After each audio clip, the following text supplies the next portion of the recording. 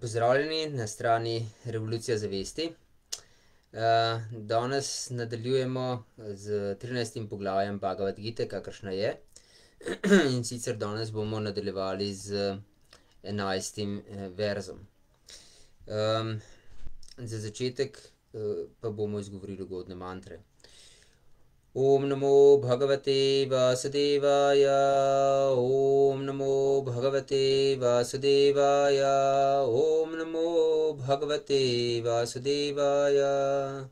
नारायण नमस्कृत्य नरम चैव नरोत्तमं। देवीं सरस्वतीं व्यासं ततो जयमुदीरेत्। नष्टप्रेष्वभद्रेषु नित्यं भागवतसेव भगवत्युत्तमश्लोके भक्तिर्भवति नैष्टिके नमो विष्णुपदाय कृष्णपृष्ठभूतले श्रीमद्राधनाथस्वामिनिति नमिने नमो विष्णुपदाय कृष्णपृष्ठभूतले श्रीमद्भक्तिवेदान्ता स्वामिनिति नमिने नमस्ते सरस्वतीदेवे गौरवाणि प्रचरणे निर्विशेषशून्यवादिपश्चातादेशतारिणे No, lep pozdrav še enkrat. Torej mi nadaljujemo, s predavanji iz Bhagavad gite. Zdaj smo trenutno v trinajstem poglavju, ki ima naslov Narava, uživalec in zavest. da bomo malo osvežili spomin, da bomo vedeli, za kaj gre. Mi govorimo, zdaj v trinajstem poglavju o filozofskem vprašanju, zakaj pravzaprav, je vdano služenje višje od, katerekoli druge poti, spoznavanja. In Krišna je to namreč pojasnil v dvanajstem poglavju. in potem je tudi pojasnil, kakšne lastnosti bakт so mu zelo pri srcu.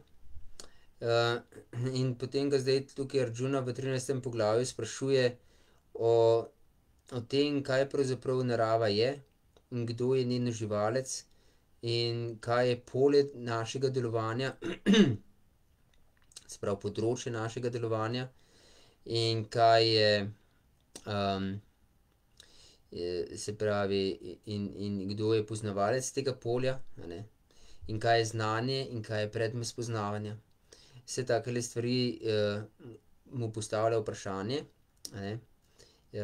in Krišna odgovarja, da je poznavalec polja je živo bitje in ne samo živo bitje, ampak je tudi nadduša, ki je poznavalec vseh polj delovanja. no, in zdaj, pa tukaj v Krišna v, v petih verzih trinajstega poglavja od osmega do, dvanajstega verza, Krišna pojasnjuje Arjuni, kaj je znanje. In, zdaj imamo zdaj že četrto predavanje iz tega, kaj je znanje. Ja. In na prvo mesto je dal: Amanitvam adambitvam ahimsa kšantirajarjavam acharyopasanam ševčam sterijam atman vinigrahah. In sicer, rekli smo, da, da prvi pogoj znanja je, da smo, bi lahko rekli, brez želje po tem, da nas drugi slavijo in častijo. to je amanitvam, tukaj je sicer to prevedeno kot ponižnost. In druga je adambitvam, tukaj piše odsotnost ponosa, ampak smo rekli zadnjič, da je to nekako odsotnost, delovanja s ponosom, se pravi, da ne delujemo iz tega položaja, da smo mi Bog, a ne. amanitvam je, je, smo rekli, odsotnost želje, da nas drugi častijo kot Boga, in adambitvam je odsotnost delovanja, kot bi bili Bog. če se tako izrazim, a ne. In potem smo govorili, da je znak znanja je nenasilje. In pravo nenasilje je si pridobiti pravo znanje in ga deliti z drugimi, ne, ker pravo nasilje je trpljenje v materialnem svetu. In, duhovno znanje je tisto, ki nas reši iz materialnega trpljenja. Ja. In jasno, hkrati se moramo tudi zavedati, da materialno življenje prinaša trpljenje, o tem govori naslednjo, naslednji verz. In, dokler smo v tem materialnem svetu, bo naše telo tako grobo kot subtilno telo, občutilo, razne oblike bolečine, ne. Ne glede na naš, duhovni razvoj, ne.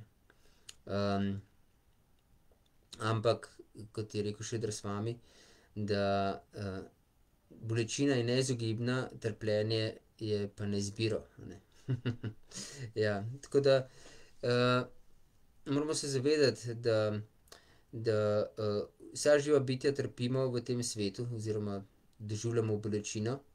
In to, te razne, težke okoliščine na tem svetu se moramo naučiti mirno prenašati, kot je Krišna že govori to od samega začetka svojega sporočila Ardžuni.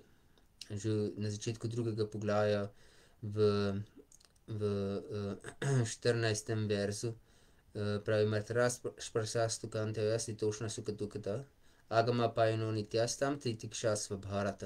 Se pravi, da bi se človek moral mirno naučiti prenašati tako srečo kot nesrečo v tem svetu, vse te dvojnosti, ne.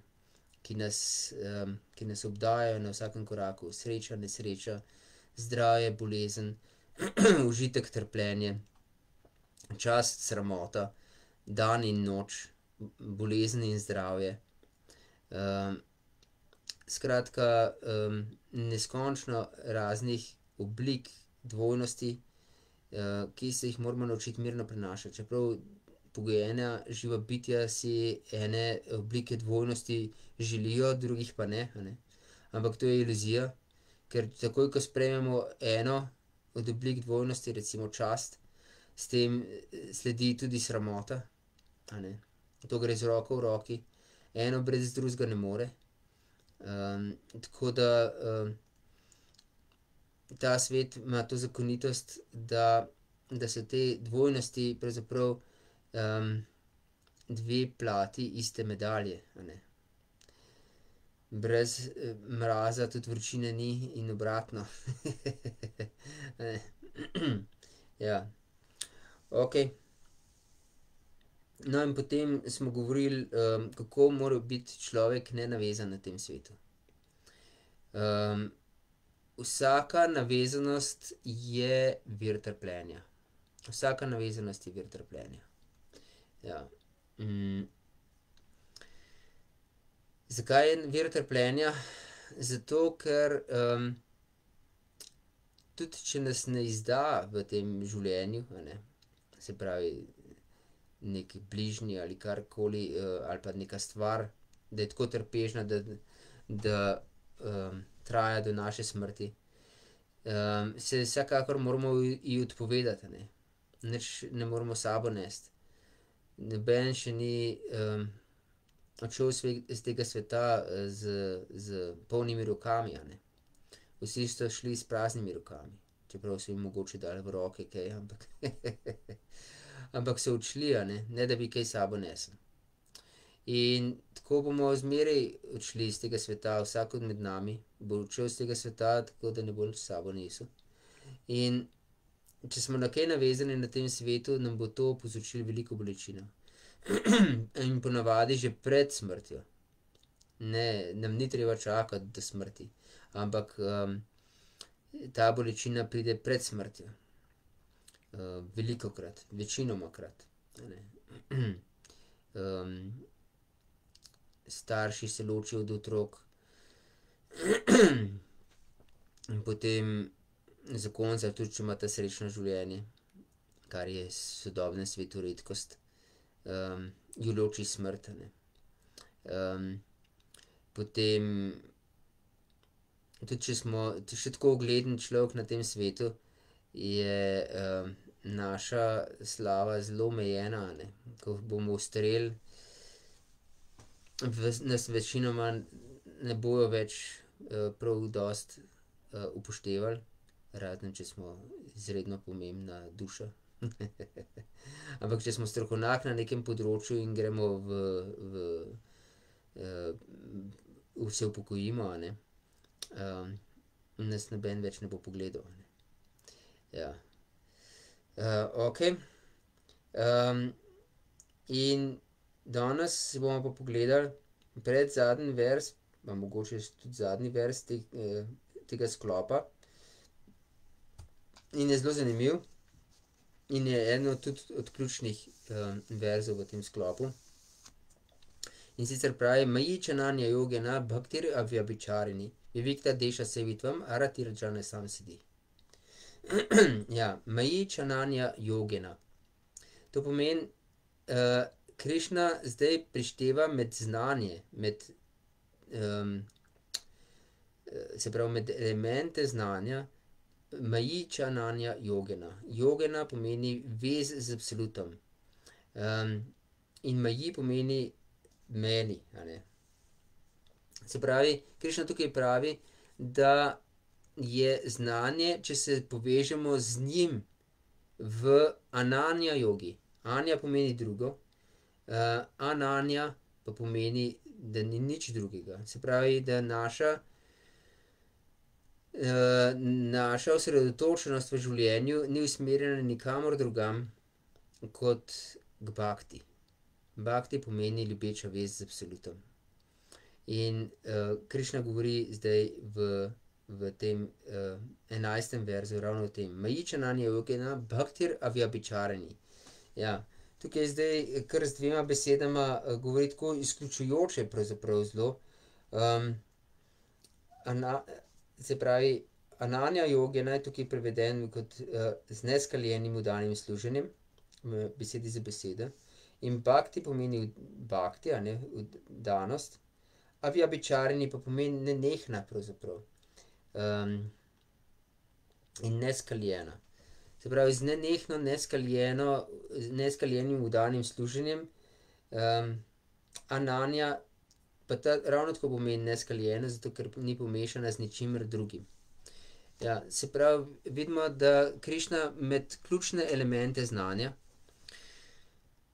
všteva bakti. A ne, prišteva bakti. In, pri prvem verzu smo rekli, da je eden od ključnih elementov znanja ačarja upasanam. Se pravi, da sprejmemo duhovnega učitelja na duhovni poti, in služimo Krišni pod njegovim vodstvom. Se pravi, da se posvetimo razvijanju duhovne zvesti pod vodstvom duhovnega učitelja. in to je bil ključni element znanja, ne, ker dokler mi nismo pripravljeni narediti tega koraka, da bi, da bi stopili resno na duhovno pot in se, nekako, predali vodstvu duhovne, osvobojene duše, potem v resnici nimamo pravega znanja. Potem ostanemo ujeti v ta krog, rojstva in umiranja, a ne, rojevanja in umiranja. In sicer zakaj? zato, ker mi smo na tem svetu izključno zaradi tega, ker želimo, ker želimo biti Bog. V takšnem ali drugačnem smislu. Kaj to pomeni v takšnem ali drugačnem smislu? Pomeni, da, mi skušamo doseči ta neki položaj uživalca in nadzornika v tem svetu.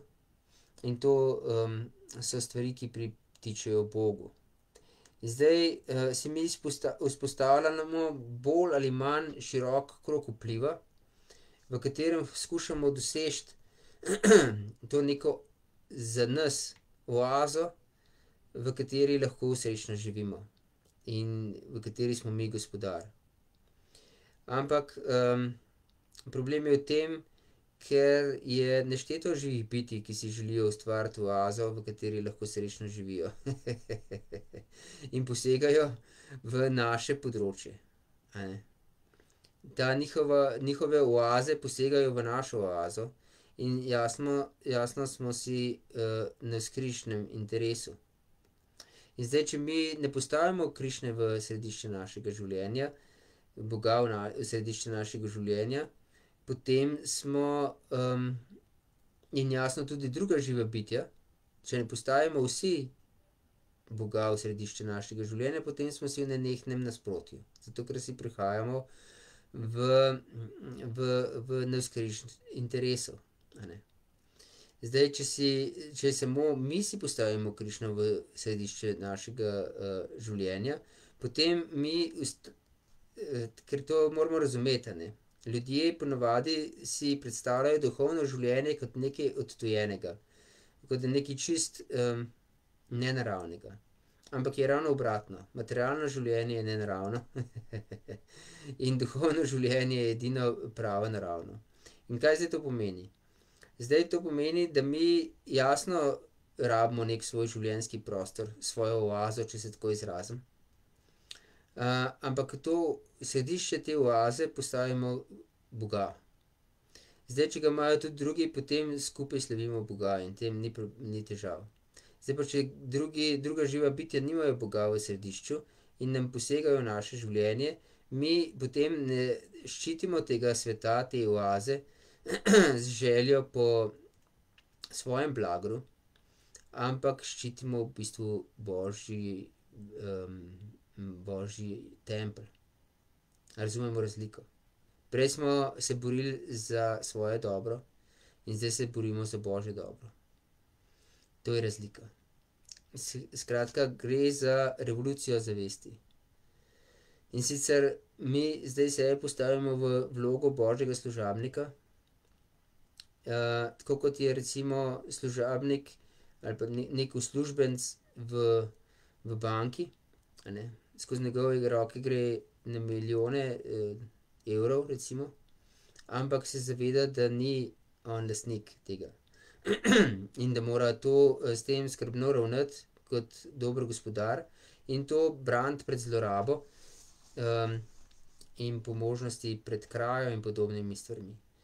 Zdaj pa, če si on to ukrade in, in, in si in, in to varuje pred drugimi za svojo korist, bo seveda kaznovan.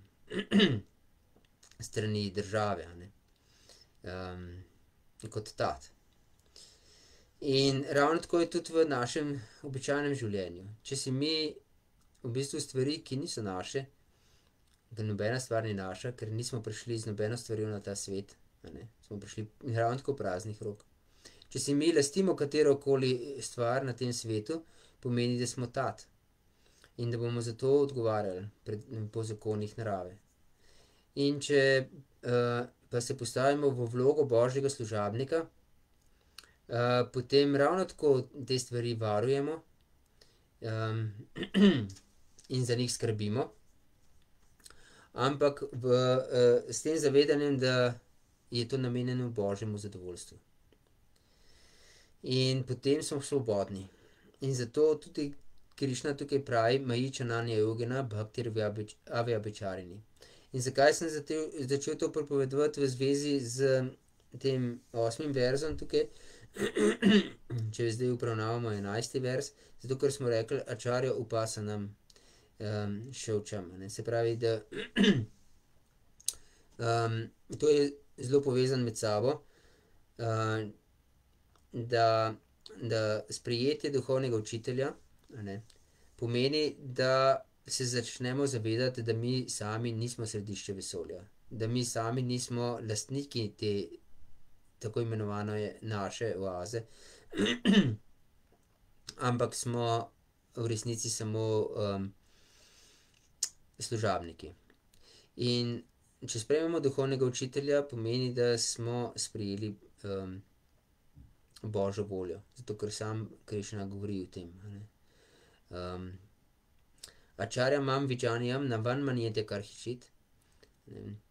Se pravi, jaz sam sem acharya, nikoli ne bodi nespoštljiv do njega.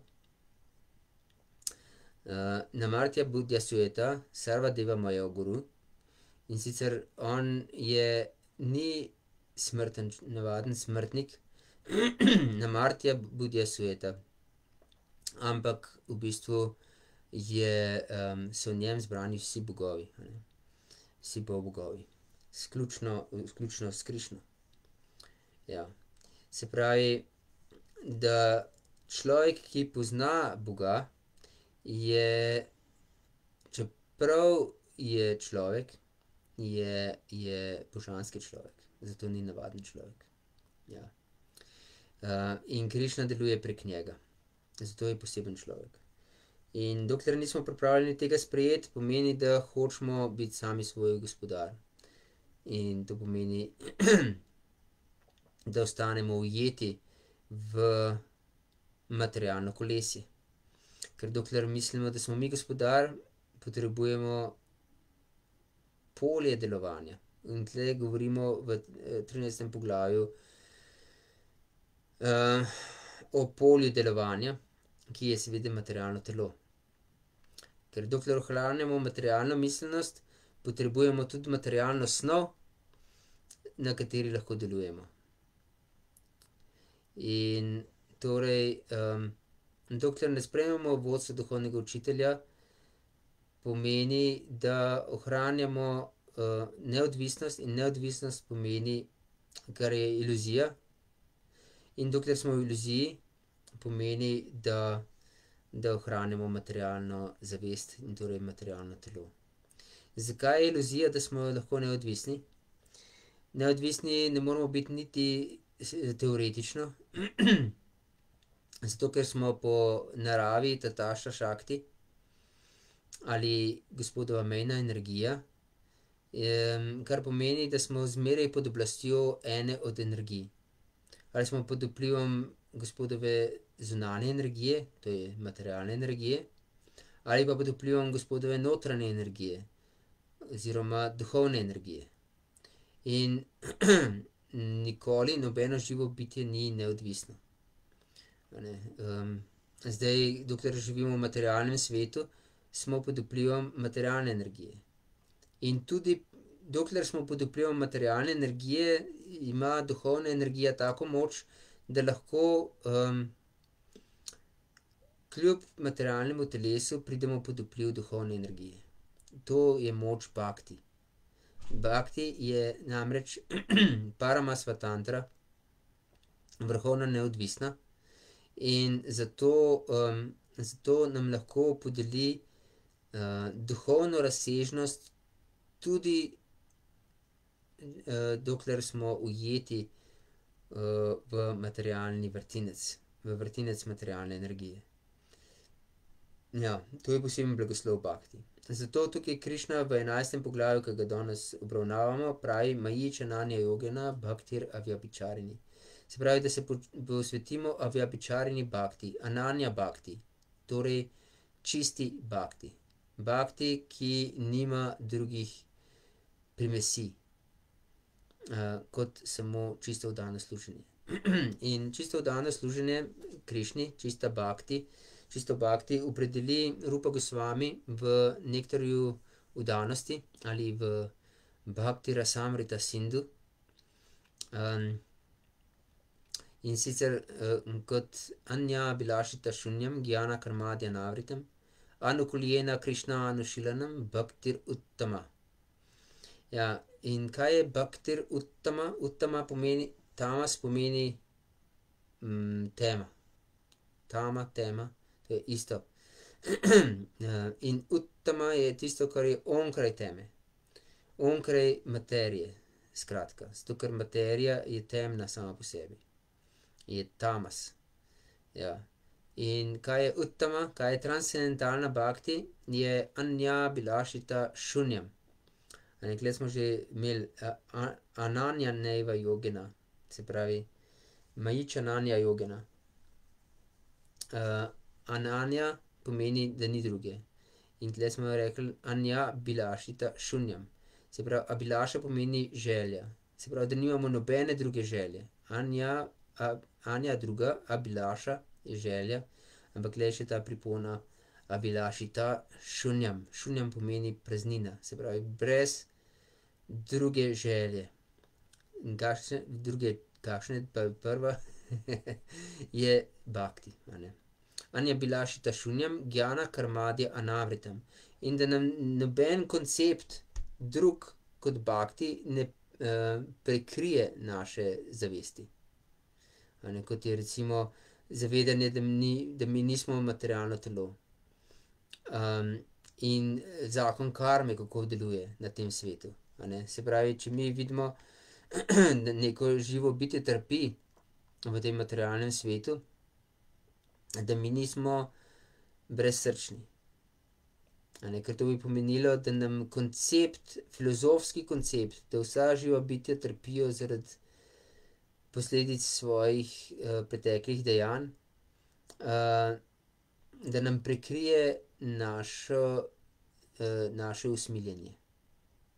In to je, je nasprotno bakti. Se pravi, bakti ne sme prekriti noben filozofski koncept. ker naše, mislim, značilno za bakti je usmiljenje tudi med drugim. dživa-daja, se pravi usmiljenje do vseh živih bitij.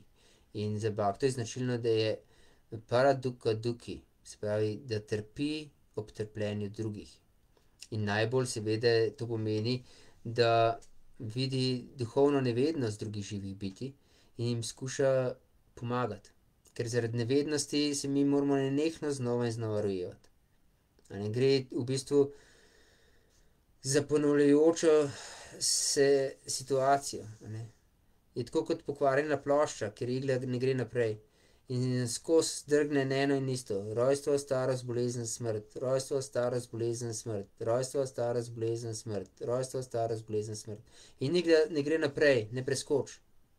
Skozi se, se vrača na izhodišče, in ponavlja eno in isto, eno in isto. Temu, pravijo v sedmem v sedmem spevu Šrimad-bhagavatam: punih-čarvita-čarvananam. A ne, da žvečimo že prežvečeno, ne. Že milijonkrat in neštetokrat smo prežvečili rojstvo, starost, bolezen in smrt. Pa še zmeraj nam je servirana.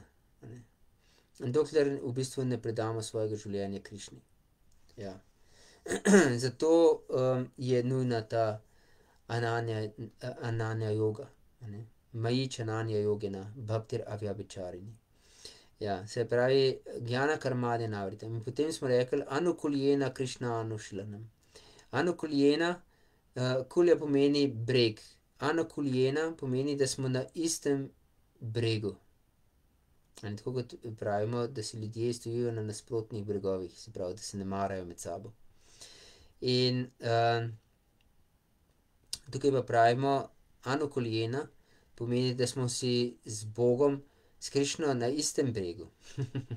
Se pravi, z drugimi besedami, Krišni moramo biti naklonjeni, to je bakti. Ne, to je bakti, da smo Bogu naklonjeni, in da delujemo v njegovo zadovoljstvo. Vse te, postavke so nekako nujne, da, da, da, mi lahko govorimo o uttama-bakti, o bakti, ki presega ta svet, ki je onkraj materije. Ker velikokrat se bomo soočali z ljudmi, ki, ki iščejo prevaro če smo čisto iskreni. Ljudje iščejo prevaro, večina ljudi išče prevaro na tem svetu. In kaj to pomeni? Iščejo neko ceneno, različico prave stvari. Ne, prava stvar je recimo tukaj v tem primeru bakti, ne, in to ananja-bakti. Tukaj čananja-bakti in to, in to avjavičarini. Se pravi, neskaljena bakti, nenehna bakti, ki ni pomešana z ničimer drugim. Ja. in ljudje si na tem svetu želijo, materialnih blagoslovov. In se bojo na Boga obračali s, s prošnjo po materialni sreči. In bojo prosili Boga za zdravje, prosili za dobro ženo, za dobrega moža, za dobro službo, za napredovanje v službi, za pridne otroke, za, da nas reši vsega hudega. skratka, Boga skušamo uporabiti kot nekega svojega, služabnika, ki nam reši stvari, ki se, ki, ki presegajo naše moči ali pa se nam ne ljubi jih izpeljati. Ne. in potem pokličemo svojega služabnika, ne, tako na klic, tako, nekako, tlesknemo s prstom in rečemo: "Ti pa zdaj to opravi, a ne, teci." Ampak, to ni bhakti. To je v bistvu izkoriščanje tega našega odnosa in to je, to je, metanje peska v oči. In po drugi strani, na eni strani imamo takele prošnje, take in drugačne prošnje imajo ljudje, ne. In po drugi strani so prepričani, kako, kako bojo šli v nebesa ali pa v duhovni svet ali pa, takele, prepričanja, a ne. Se pravi, o tem smo že govorili na naših predavanjih, ljudje imajo nekako duhovnost za, samopostrežno restavracijo, a ne. Da si lahko postrežejo tisto, kar jim paše. Ampak v resnici duhovnost pomeni, da se znebimo svoje odvečne prtljage. Tukaj pa hočemo obdržati vse svojo prtljago in dobiti, neko višjo vrsto višjo obliko čutnega uživanja. pod krinko neke duhovnosti. In to je laž. In dokler se pitamo s to lažjo, bomo prevarani. Lahko si še tako eno lepo sliko, naslikamo, a ne, ampak je vse prevara. In je odvisno od nas samih, ne. Dobi Kali, ta doba Kali je doba prepirov in hinavščine, doba prevarantov in prevaranih. in tako da niti ni treba biti hud prevarant, ker si ljudje želijo biti prevarani, Se pravi, lahko samo nekaj ponudiš, pa bojo to sprejeli, a ne. bolj ko jim ponujaš resnico, manj bo interesentov. Resnih, a ne. Resnih interesentov. Ja. ja, zato Krišna tukaj govori, da je to znak znanja. znak znanja je, da si želimo resnice. Da si želimo absolutne resnice. Ja, in zato pomeni, poizvedovanje. Poizvedovanje pri tistih, ki imajo znanje. Kot smo rekli v četrtem poglavju: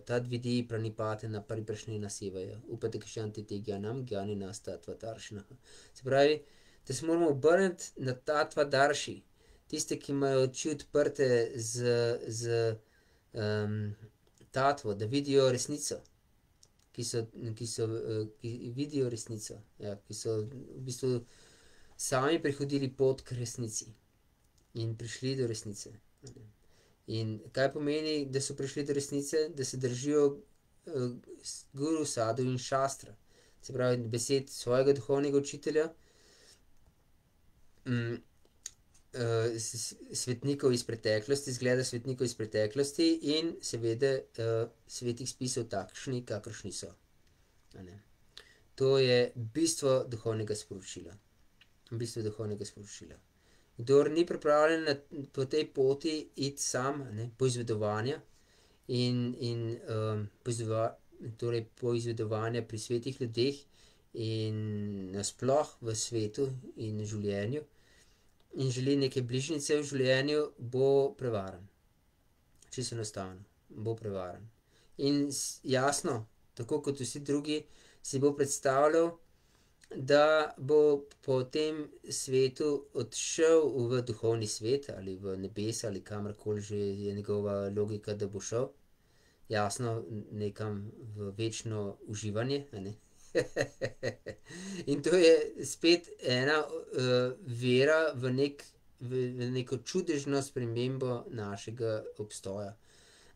v naše stanje bivanja. Ampak to ne podpira noben guru, nobena, noben sadu in nobena šastra. Torej pomeni to, logika prevarantov in prevaranih. Zato polagam vsem na srce, ne si želeti biti prevarani v življenju. Ja. Iščite pravo stvar. Iščite pravo stvar. Ja. Življenje temu posvetite. Se pravi, nobena neskaljena, neskaljeno čisto oddano služenje in neprekinjeno, ne. Nenehno in neskaljeno čisto oddano služenje. In kaj pravi naprej? Vivikta seva, Vivikta deša sevitvam. Vivikta deša sevitvam pomeni, da živi na samoti, ne. Vivikta na samotnem deša sevitvam. Se pravi, živi, želi si, bakta si želi samote v nekem smislu. Ampak ne samote v smislu, da, da, da ni z nikomer drugim, ampak, da ga nič ne vznemiri pri njegovem vdanem služenju. Ta svet je, je, je vir neskončnih enih ne. Vsi telefoni, računalniki, sateliti, ki krožijo okrog, razni signali, takšni in drugačni, nas obdajajo z neštetimi motnjami. In vse te, vsa ta valovanja, ki nas obdajajo, seveda vplivajo brez dvoma tudi na našo zavest, tudi na, na, našo koncentracijo, na našo zbranost, na našo osredotočenost. in zato smo v zelo težkem položaju, ne, v sodobnem svetu. Še pred petsto leti, so šli modreci in potem tudi jasno še pozneje, so modreci hodili v, v jame, nekam globoko pod zemljo, pa v Himalajo in tako naprej. zato, da so se izognili tem, tem vaškim čenčam pravzaprav. temu, temu, temu energetskemu polju, ki se ustvari okrog, ljudi, ki so, ki, ki imajo um raztresen na tisoč in en ne. In ko so ljudje živeli na samoti, na samem, so se lahko ne. In to še po možnosti nekje v neki votlini, zaprti, da, da ja ta vpliv, ta energetski vpliv drugih ljudi ni segel do njih. Oziroma minimalno segel do njih. zato je, izjemno pomembno, da mi kljub tem neštetim raznim vplivom, ki jih imamo v sodobnem svetu, a ne, ke se jim pravzaprav ne moremo izogniti, tudi če gremo v jamo, bomo še zmeraj tja segajo neki valovi, a ne. Satelitski in drugi valovi. Ja, in onesnažen zrak in vse to, a ne.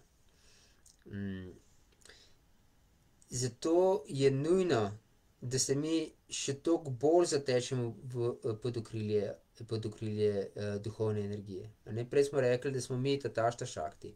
Da mi nikoli ne moremo biti neodvisni. Da smo zmeraj pod vplivom ali gospodove zunanje ali, torej materialne energije ali gospodove notranje duhovne energije. In zato Krišna v devetem poglavju pravi, kakšna je razlika med enimi in drugimi. Ne, tisti, ki, ki se zatečejo k materialni naravi, se pravi k slepilni naravi, pravi mugaša muga karma no moga gnana vičetasa rakšasim asurimčeva prakritim mohinim šitaha. Oni so se prakritim mohinim šitaha se zatekli, k prakriti mohinim, se pravi k slepilni energiji. K slepilni energiji. In kaj je njihov rezultat? Mugaša muga karma no moga gnana vičetasaha. Se pravi, se njihova, vsa njihova prizadevanja se izjalovijo. Vse njihovo znanje se izjalovi. vse njihovo delovanje se izjalovi. Vse se izjalovi. In so vičetasaha. Se pravi, so, so zmedenega razuma, se pravi, spijanega razuma. in, kakšni ljudje so to? Rakšasim asurimčeva. Pravi Krišna. Zelo, zelo z grobimi besedami pravzaprav opredeli, da so, krvosesi. A ne, ljudožerci. ja, zakaj so krvosesi? Zato, ker, ker prej smo rekli, da vsak si skuša ustvariti neko svojo oazo, dokler smo materialno pogojeni, ki je jasno v konfliktu z drugimi. In, zato, da mi ohranjamo to svojo oazo oziroma jo še povečujemo, smo pripravljeni, žrtvovati življenja drugih. in, in izkoriščati druge. In to pomeni sesanje krvi. Hranjenje z njihovim mesom. Ja. Zato nas sveti spisi opozarjajo, da moramo biti zadovoljni s tem, kar nam je dano od Boga, in ne biti pohlepni. In grebežljivi. Ja. V bistvu, je, je moto duhovnih, ljudi je preprosto življenje in visoko razmišljanje. Ja. Se pravi, da si skušamo zmanjšati svoje telesne potrebe, zmanjšati svoj, odtis na zemlji, če se tako izrazim sodobno, ampak, skušamo živeti v sozvočju z drugimi živimi bitji, v harmoniji, v slogi. ja. In, torej, po drugi strani smo rekli pa, so, so velike duše, oni se stečejo k devi prakriti. A ne, in spet tukaj uporabi Ananja, bhajanti, Ananja, bhajanti pomeni, da me častijo, se pravi z neskaljenim razumom. Neskaljeno voljo. se pravi, da nimajo nič drugega v, v, v mislih, kot je bhakti, a ne, kot tukaj tudi pravi, Ananja jogena. In tam tudi pravi bhajanti, in se zavedajo, da sem jaz pravzaprav gospodar vsega. Ljudje, ki zavidajo Bogu, zaradi takih izjav mislijo, kaj bi si mislil on, ne, da pravi: "Jaz sem gospodar, jaz sem gospodar." ampak to je v bistvu sama zavest, a ne. Ker bi bili oni radi gospodar. In gre na živce, ampak oni so neskončno majhna iskra, ne, oni so Anu in Krišna je Vibu, neskončen, ne. To je tako, kot bi rekli, da bi se kapljica uprla oceanu, a ne. Ker bi ocean rekel: "Jaz sem gospodar voda, iz mene prihajajo vse reke." In kapljica bi zelenela od zavisti in rekla: "Kaj si misli ta ocean, jaz sem gospodar voda." Norost. Takoj ko zapusti ocean, se kapljica posuši in je ni več. Ja. Okej, in torej tudi mi, tako smo popolnoma neznatni in praktično izgubljeni, če zapustimo ocean božje milosti. Ja, zato je, je ključni element znanja. In tule smo rekli torej se pravi, želja po življenju samoti. Rati pomeni, močna navezanost, v bistvu privrženost, ljubezen je rati. In tukaj pravi arati. Pravi, da mi nimamo močne privrženosti in ljubezni, do česa? Do džana samsati. Se pravi, džana samsati pomeni, želja po druženju z navadnimi ljudmi. In to pomeni, da, nas družba navadnih ljudi odbija, da nimamo čisto nobene želje po tem, da bi se družili z navadnimi ljudmi. In kdo so navadni ljudje? Navadni ljudje so tisti, ki niso bakte. Čisto enostavno. tisti, ki ne postavljajo Boga v središče svojega življenja. Ja, zdaj, bakta na srednji stopnji, on zna ločiti med temi posvetnimi ljudmi.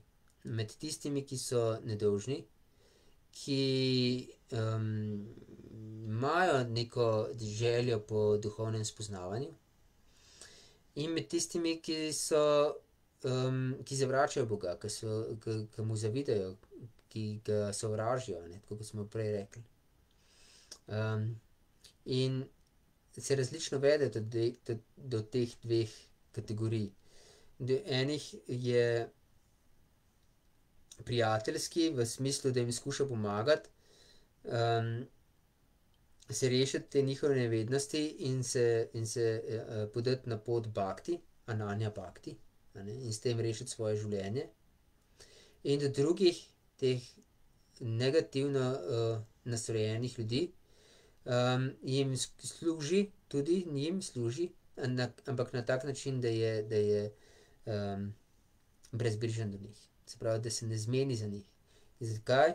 Zato ker če bi, posegel v njihovo življenje na takšen ali drugačen način, z besedo, z mislijo, z mogoče celo s prasadomom, se pravi sveto posvečeno hrano, bi ga grobo zavrnili in s tem si še globlje izkopali svojo pogubo, a ne. Ja. Okej, se pravi, zato je arati se, duhovni človek tisti, ki ima znanje, to je znak znanja, da da ni, da nam ni do do družbe posvetnih ljudi. To je znak znanja. Dokler ohranjamo to željo po druženju s posvetnimi ljudmi, je, in tudi, če so to naši sorodniki, je to, znak naše nevednosti. In ohranjamo svojo materialno pogojenost. Ja. Okej, vidim, da imamo tukaj en, neka vprašanja. Jožica pozdravlja. Hare Krišna. In potem, ko stopiš na pot samospoznavanja, ni lahko, zahteva trdo delo. A je vredno? Ja, se strinjam, Jožica. Ja, ne samo, da je vredno, ampak je za, nujno za preživetje, če se tako izrazim. Zakaj? Ker, ker ta svet je svet trpljenja, pa nobeno živo bitje noče trpeti. Kot smo že večkrat omenili na teh naših predavanjih, smo mi ananda mayogya sad. Mi smo živa, mi smo bitja sreče in nobeno stanje nas ne more osrečiti razen bhakti. Razen ljubečega odnosa.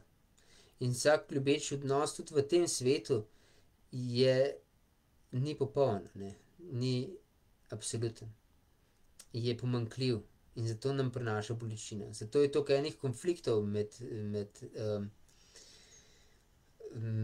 med zakonci, med otroki in starši, med,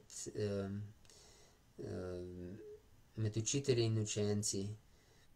Med vsemi pravzaprav.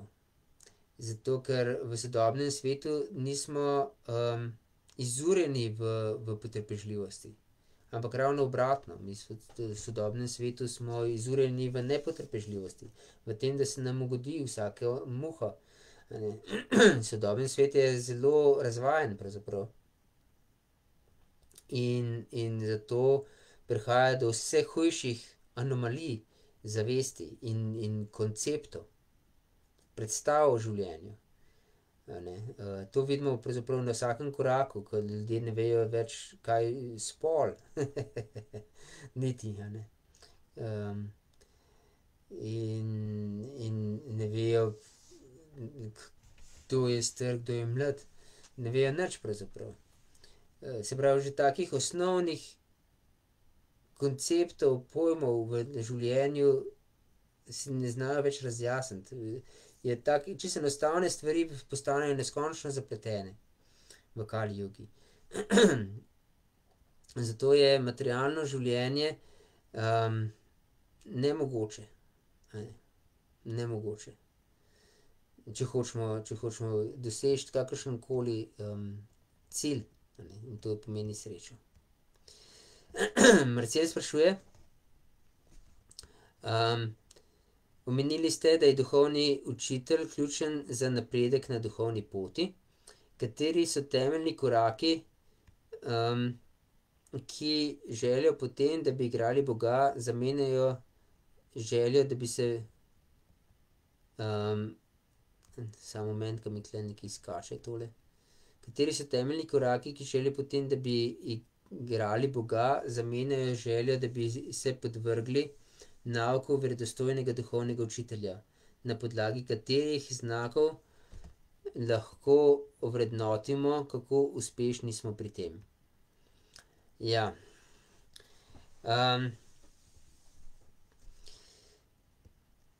hvala za vprašanje, Marcel.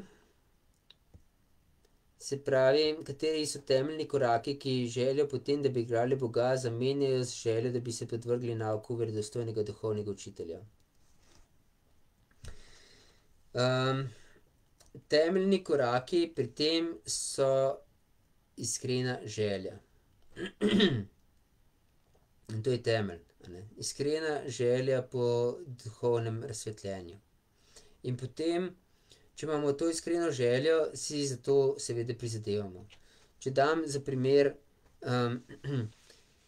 nekoga, jaz večkrat govorim o, o primerjavi s tem, plezarijo v hribih, ker se mi zdi, tako zelo nazoren primer pa še da se več vzporednic s tem potegniti.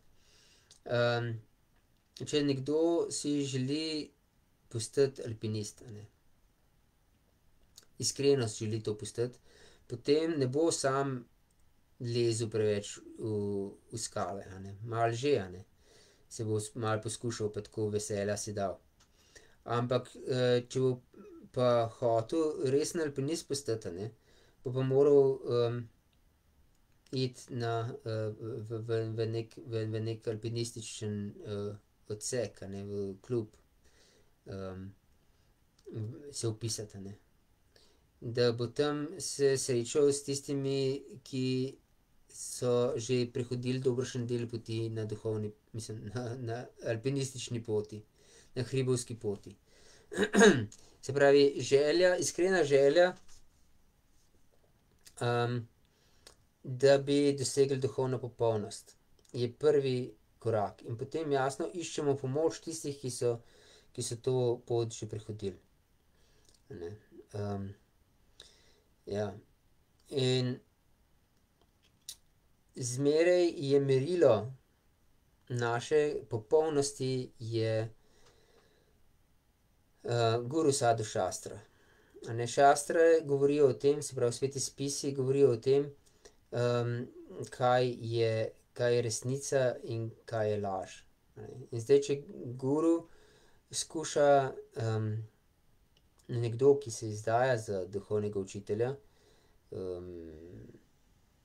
skuša to resnico izkriviti, da bi, da bi bil bolj priljubljen, ni verodostojen duhovni učitelj, ne. in, in če mi iščemo nekoga, ki izkrivlja resnico, da bi bolj ustrezali naši, naši pogojenosti, a ne, potem mi nismo iskreni v iskanju resnice.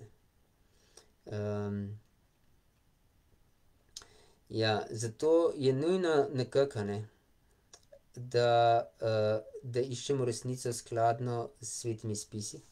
In jasno, potem nam sveti spisi učijo videti resnico, videti Krišno, videti Boga v svetu, ki nas obkroža. Ni Krišna samo v, zajet samo v svetih spisih, ampak je zajet v vsem, kar nas obdaja. In, in knjige, sveti spisi nas učijo prepoznati Boga v vsem, kar nas obdaja. in jasno tudi, prepoznati verodostojnega učitelja, ki nam pomaga odpreti oči, da bi videli Boga v vsem, kar nas obdaja. Duhovni učitelj je tisti, ki nas zaposli s služenjem Krišni, in šastre nas učijo, kako moramo znati uporabiti vse, kar nas obdaja v služenju Krišni. In prva stvar, ki nas obdaja, je naše materialno telo. subtilno in grobo materialno telo. To dvoje nas obdaja. In s tem moramo torej v, v neki, v, v, v neke okoliščine smo bili položeni v tem svetu in s tistim moramo delovati, ne. Ne, ne moremo delovati zdaj nekje, kjer sploh nismo, ne. Se pravi, s tistim, kar nam je, nam je dano, moramo najprej, upravljati, a ne, in to pomeni z našim grobim in subtilnim telesom in pomeni v, družino, v katero smo dani, v okoliščine, v katere smo se, v katerih smo se pojavili. Skratka, v našem polju delovanja, ke smo ga prej ustvarjali za svojo oazo, moramo zdaj postaviti, Boga v to središče te oaze in delovati s tem namenom, ne, in v tem, in pri tem biti iskreni.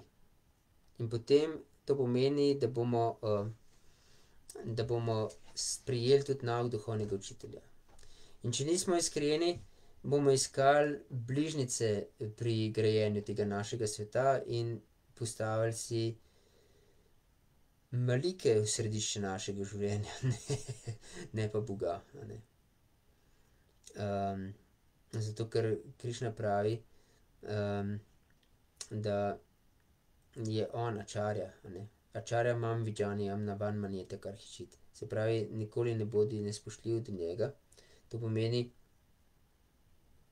da je treba sprejeti, besede duhovnega učitelja za svete. In jasno, nauk šaster nas usmerja k verodostojnemu duhovnemu učitelju.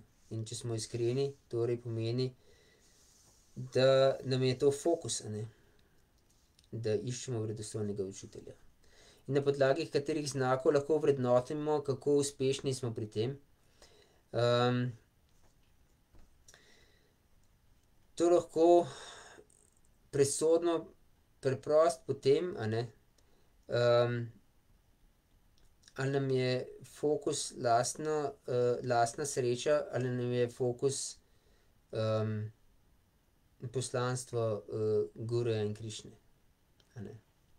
Se pravi, a mi hodimo v službo, recimo, če hodimo v službo, hodimo v službo zato, da bomo zaslužili za, za neke svoje, zabave, ki jih imamo v glavi, pa zraven šli tudi v tempelj, seveda kot en del teh naših zabav, Ali, ali je naš fokus, Krišnovo poslanstvo, božje poslanstvo. Da bomo, s tem denarjem pomagali, širiti božjo besedo. Enostavno, a ne, je pravzaprav to. In če smo študentje, a študiramo zato, da, da bomo sami neki postali neki, ne vem, učen človek oziroma iskan na trgu delovne sile na takšen ali drugačen način. ali študiramo zato, da da bomo s pridobljenim znanjem lahko širili božje, božje poslanstvo, ne. tako da, da to je samo vprašanje iskrenosti pravzaprav. Iskrenosti, koliko smo resni pri tem, zato ni nobena okoliščina slaba sama po sebi, ne, razen če je izrecno grešna, ne, kot recimo, če si mesar, ne, je to izrecno grešno že samo po sebi. Ali pa zvodnik, ali pa kaj takšnega, ne. Ali pa da izdeluješ šnops, se pravi, žgane pijače ali pa, ali pa kaj drugega, a ne. Takega, kar je grešno samo po sebi. Zdaj pa, če pa ne delamo grešnih stvari, so vse stvari lahko namenjene, božjemu spoznanju, če seveda jih uporabljamo na pravilen način, ne. Ja, za služenje Bogu. Okej, Tatjana, oziroma Mahalakšmi dan pravi: "Hare Krišna, spoštovanje. Kljub temu da imam tako znanje, je težko še kar ne družiti, s takimi ljudmi, še posebej, če so ti dragi." ja, zelo zanimiva misel. ja, to je res, ne. Ljudje smo navezani, In ta navezanost je zelo globoka. In recimo zanimivo je, da kraljica Kunti moli v prvem spevu v osmem poglavju Šrimad Bhagavatama in pravi: "Ata Višveša Višvatman Višvamurte Svakeshu me, Sneha Paša idam čindi, dridam pandušu vrišnišu." In sicer pravi: "Moli h Krišni, da bi jo rešil, in jo, da bi presekal vezi, ljubeče vezi med njo in, in Pandavimi in Vrišniji." Se pravi, svojimi otroki, ke so bili čisti bakte. In Vrišniji tudi, ke so bili sami, družabniki gospoda Krišne. Ampak, zakaj prosi to, ne? Ker se želi znebiti te, kot Prabhupada to slikovito imenuje, kožne bolezni, ne. se pravi, navezanosti na podlagi telesa, navezanosti na podlagi,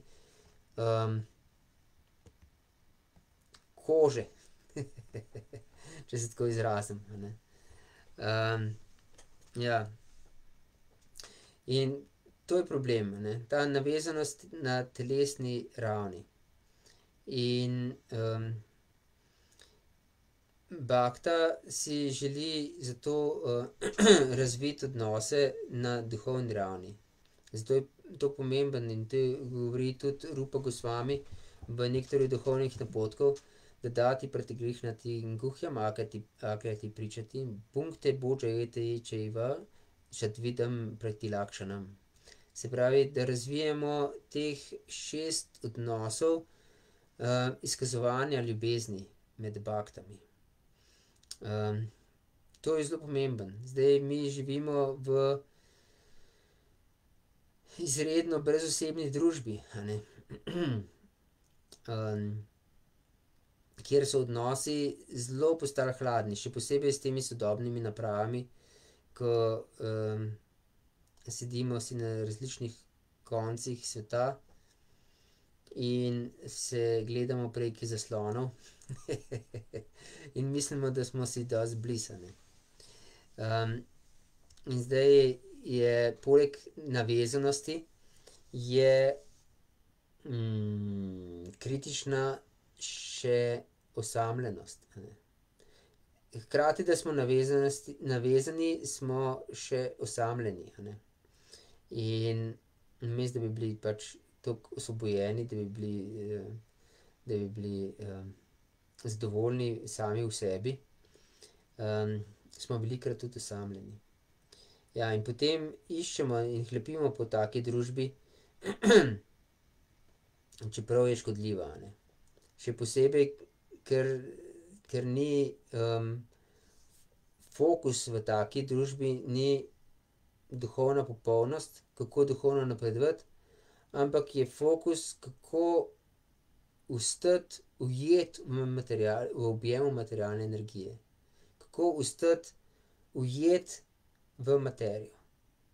To je fokus. In vse poteka v zvezi s tem, ne. Ne glede na to, ali je to pogovor o politiki, o hrani, o ženskah, o, nogometu, o, ne vem, modni reviji, takšni ali drugačni, o športu in karkoli že drugega, ne. o filmih. Skratka, karkoli je tema našega pogovora, tema našega fokusa, našega razmišljanja, kar ni povezano z oddanim slušanjem Krišni, ne, z Ananja Jogena, a ne, Ananja Jogena, Bhakti Raya Bacharini, je v resnici, načrt, kako ostati ujet v materijo. Kako biti, suženj materiji, a ne. Ja, zato se bakta osredotoči na to, da takim ljudem, ki imajo vsaj kanček nagnjenja po tem, da, da kaj sprejmejo od Boga, da jim skuša nekaj dati, ne. Se pravi, če mi lahko v neki družbi, ki jih sicer ne zanima Bog, če jim lahko damo vsaj presadem, potem z njimi preživimo neki del časa in se pogovarjamo tudi o navadnih stvareh, o tem, kako, kakšno je vreme in druge takele reči. Ampak z enim samim namenom, da bojo z veseljem sprejeli presadem in ga použili. In potem, ko dosežemo ta svoj fokus, ne, potem se vljudno poslovimo in gremo. In smo zadovoljili te, to njihovo potrebo po druženju.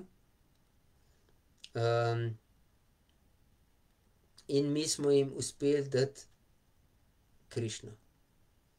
V, kakor je bilo pač v naši moči. In s tem smo dosegli popolnost. In to ni napačno druženje. zdaj pa, če se pa mi družimo popolnoma brez tega, da bi karkoli dobrega tem ljudem prinesli, in še sebi nič dobrega ne prinesemo, je to naše druženje pogubno tako za nas kot za one. Dobro, oni so že itak pogubljeni, a ne. Če jih nič ne zanima oziroma niso pripravljeni sprejeti ničesar, niti presadoma, potem jim z našo družbo ne bomo nič dobrega dali. In zato, če so to naši sorodniki, če so to naši sorodniki, potem lahko ohranimo neki, neki osnovni stik, toliko, da nas ne bojo kritizirali preveč. Ker če nas bojo preveč kritizirali, bo tudi to za slabo za njih. Ampak, minimum od minimuma. Recimo, če povem iz svojega primera, mi je jasno, imamo tudi svojo družbo svojih sorodnikov, ki jih zanima bolj malo, dobro, kakšno presadem jim lahko zmeraj damo. Ampak, pol je naš sistem tak, da zmeraj pridemo zadnji in prvi gremo. Tako da,